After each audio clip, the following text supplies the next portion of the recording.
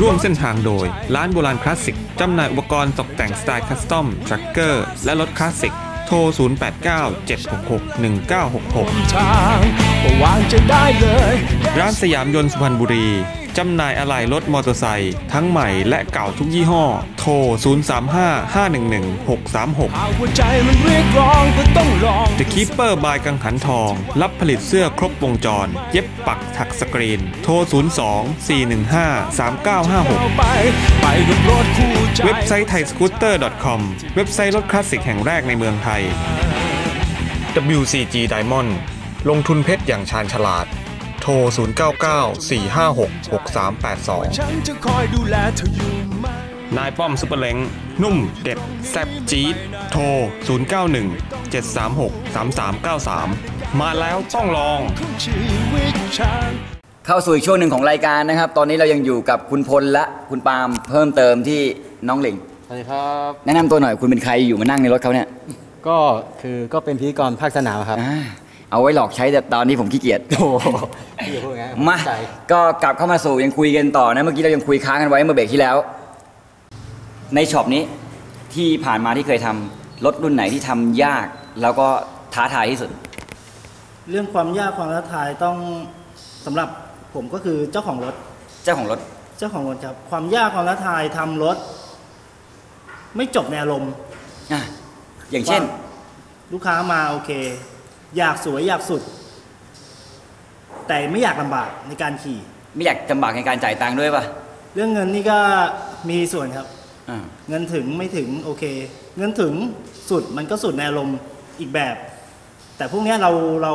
เราคุยคุยกับเราได้เลย อืมตรงๆ พี่ผมอย่างนี้ครับ อย่างนี้ครับ แต่ส่วนใหญ่ที่ทำไปก็คือเราจะทำในอารมณ์ว่า อยากให้มันสุด อยากให้มันจบในอารมณ์ ช่างทำมันเจ้าของรถแฮปปี้เรื่องเงินโอเคไว้ มันเป็นปัจจัยอยู่แล้วเรื่องเงิน แต่ละไว้ในฐานที่เข้าใจ ใช่ อะไรประมาณนี้ จะมีมากมีน้อยจะผ่อนจะทยอย ครับผมคุยกันเราคุยกันตรงอืมๆ happy กันทั้งสองฝ่ายอันนี้มาคุณปาล์มครับผมของคุณปาล์มนี่สามารถจะเป็น paint งานสีงานสีพ่นใช่ครับพ่นเก็บรายละเอียดสีเกี่ยวกับสี color painting ทั้งหมด ใช่ก็เป็นพวกงานจัดทรงก็คือรวมๆกันเราเราอยู่ในจุดเนี้ยเราต้องทำแม่งทุกอย่างอยู่อ่า ต้องเป็นทุกอย่าง ต้องเป็นทุกอย่าง ใช่ ก็คือลายสีไหนที่คนนิยมทำมากที่สุดสำหรับรถแนวเนี้ย ถ้าแนวนี้อะพี่ผมว่าลายไฟมันก็มีส่วน อ่า แต่สำหรับผมแล้วผมว่ามันมันไม่ใช่ มันต้องเป็นลายไหนอะในความคิดผมมันน่าเป็นอะไรที่เป็นตัวเอง เป็นตัวเอง ใช่ อาจจะใส่ หน้าตัวเองกระโหลกใช่จะอืม โอ้โหได้หมด ใช่ใช่เป็นตัวเองรูปรูปเมียรูปอะไรก็ก็แล้วแต่ ก็เห็นมีคนทำไม่ใช่ว่าไม่มีนะแนวเนี้ยก็มีคนทำนะครับก็คือเป็นรูปหน้าแฟนตัวเองลูกตัวเองหรือแม้กระทั่งฟิลลิ่งที่ตัวเองเป็นใส่ในงานของตัวเองแม้กระทั่งลายไทยใช่ใช่อะก็ก็น่าจะเป็นอย่างนั้นได้ใช่ไหมแล้วคราวนี้ ถ้าเกิดว่าพูดถึงในช็อปนี้ ถ้าลูกค้าดูรายการอยู่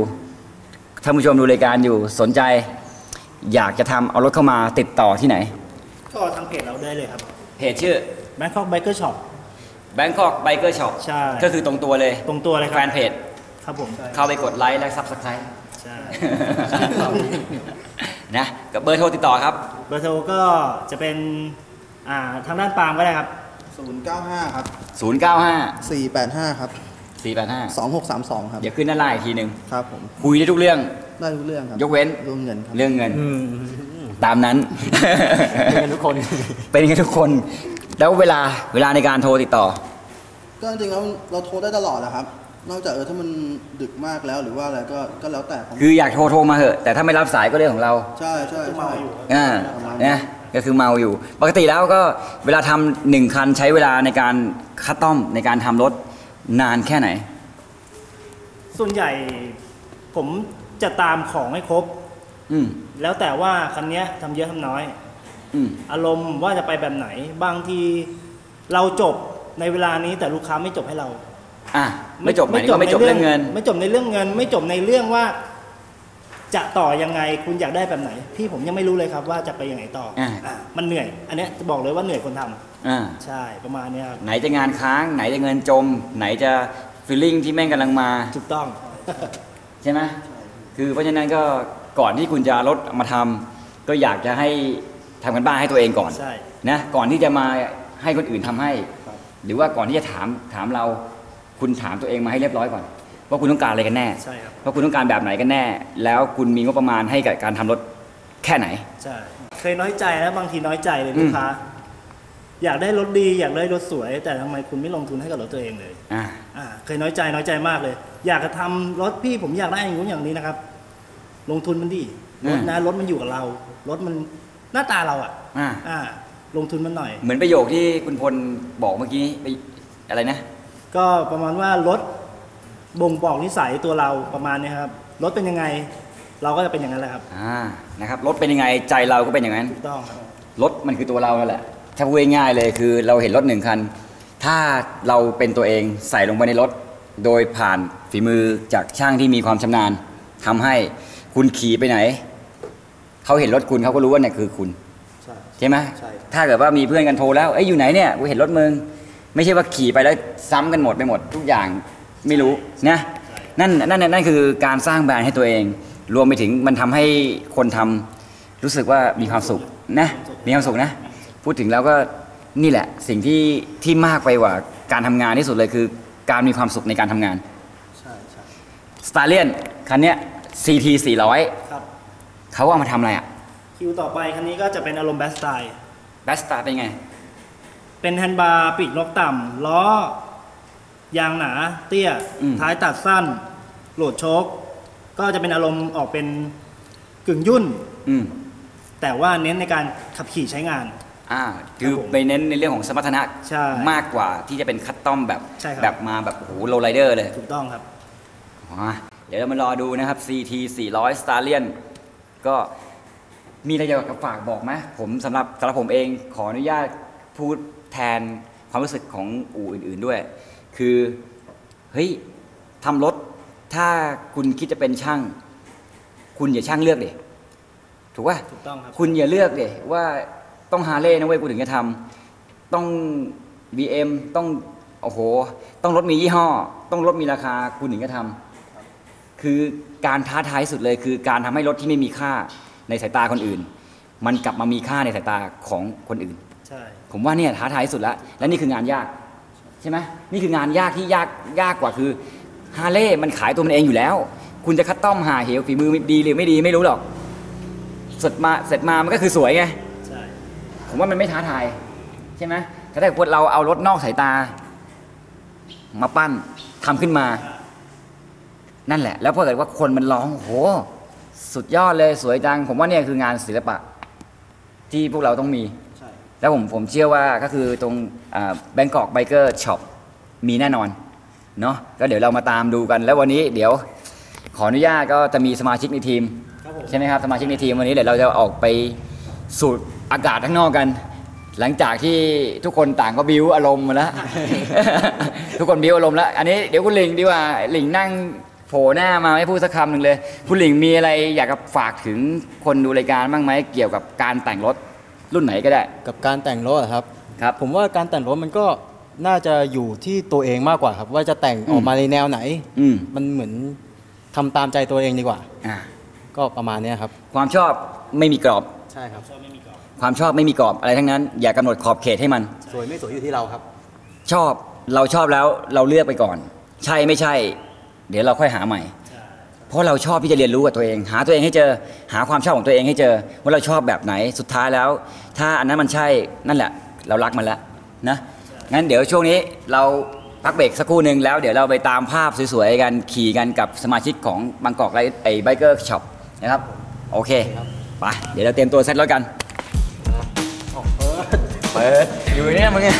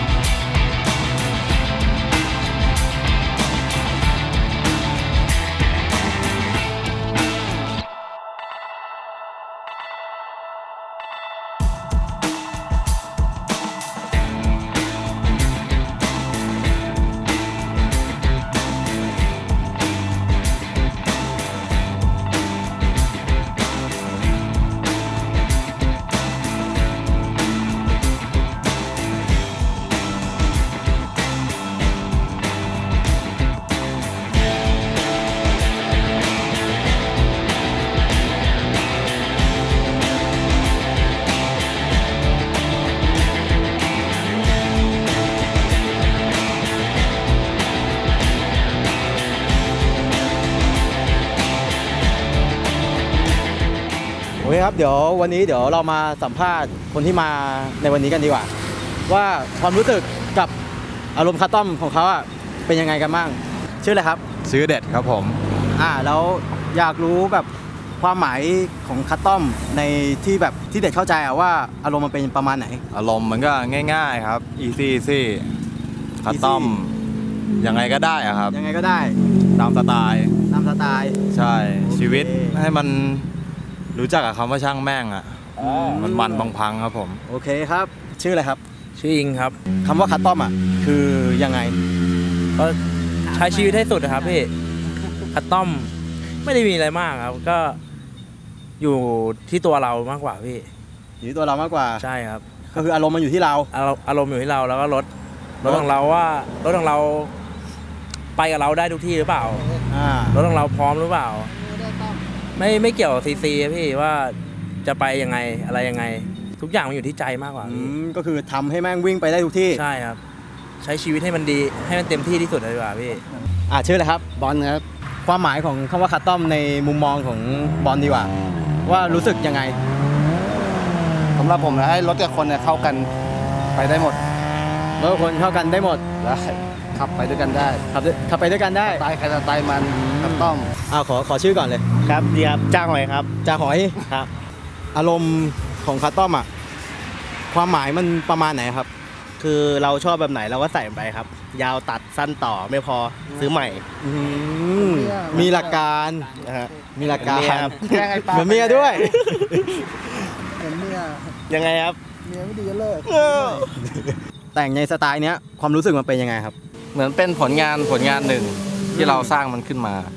คล้ายๆพวกครับศิลปะอะไรอย่างงี้ด้วยใช่ก็มันก็เป็นศิลปะอย่างหนึ่งครับ ก็คือแบบว่าเราต้องการแบบไหนเราก็ดีไซน์แม่งออกมาเลย ตามใจเราเลยแวก็อ่าใช่ก็เป็นเหมือนแบบเฮ้ยเราอยากได้รถแบบเนี้ยเราก็ดีไซน์อาจจะมี detail ลูกเล่นอะไรแบบตามสไตล์ของเราไปอืมก็คือมันเป็นเหมือนเป็นใส่ตัวเราเข้าไปอืมกับรถ ก็คือแทนรถเป็นตัวเราไปเลยอ่าใช่ครับ วันนี้ขับอะไรมาครับ ขี่ street มาครับขี่ street ใช่ครับอันนี้อันนี้แต่งเป็นแนวอะไรครับ ตอนแรกมันเป็น easy แหละครับ แต่เป็นว่า easy ตอนนี้มันยังไม่สมบูรณ์พอ เพราะว่ายังตามหาอารมณ์ตัวเองไม่เจอครับอืมใช่ยังหาตัวเองไม่เจอ ใช่ครับก็ยังcustom ได้ไม่สุดเท่าไหร่ขอให้ขอให้หาเจอไวๆนะครับ ครับผมชื่ออะไรครับ ชื่อเบนซ์ครับชื่อเบนซ์นะครับ เบนซ์ขับอะไรมาครับวันนี้ขับ CT 400 ครับ CT 400 อันนี้ก็คือมาเดิมๆเลย ใช่ครับกำลังจะ เริ่ม custom แล้วครับ กำลังเริ่ม custom ใช่ แล้วมีรูปแบบไว้ในความคิดบ้างหรือยังครับ ว่าจะออกมาเป็นแบบแนวไหน เอ่อไม่มีครับแต่ว่าคิดว่าถ้าชอบอะไรก็ใส่ใส่เข้าไปเลย มันมัน ชอบอะไรใส่เลย ใช่ ตามอารมณ์ตัวเองเลย ใช่ครับ